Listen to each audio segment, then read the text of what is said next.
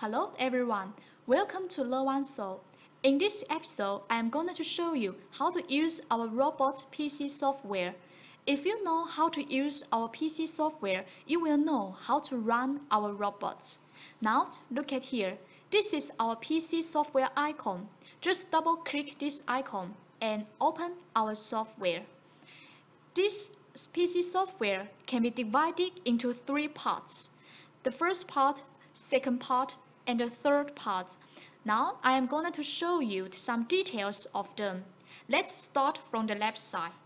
As we can see, it, robot possesses 16 servos. In this interface, we can see there are 16 blue icons. Each one of them represents for one servo. Following the position of the servo, we set the ID number for them in sequence which correspond to the positions of these icons. Therefore, you will not get confused while you are programming. There is a slider in this blue icon.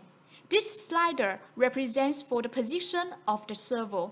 You can get any position you like and the figure will be changed as the way as the slider moves, just like what you see. After connecting to the controller, the robot's eyes will turn green. If it turns green, that means you have successfully connected to the robot.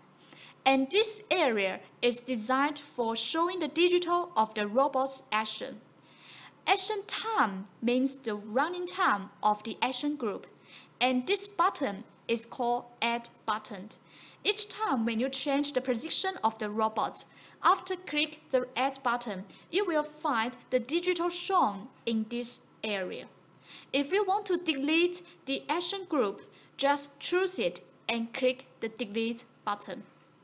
And this button is designed for modifying and updating the robot's action. This one is called insert action. After removing the action, you can directly click the insert button to the place where you want to insert. And this play button supports running online once. If you click the loop, the robot will keep on running until you click the stop button. And this one is designed for saving the action group that you have already programmed to the computer. And you can choose a certain number of the action group and after click the download button, it will be directly downloaded to the controller. This one is single erase. Single erase means that you can delete the action group that you choose. That is to say, all erase means deleting all the action groups which downloaded in the controller. Very easy to understand and operate, right? You can also try by yourself. So this is the end of today's program. If you still have any question, please feel free to contact us and join us on Facebook, Twitter, Instagram, or YouTube pages. Thanks for watching. See you there.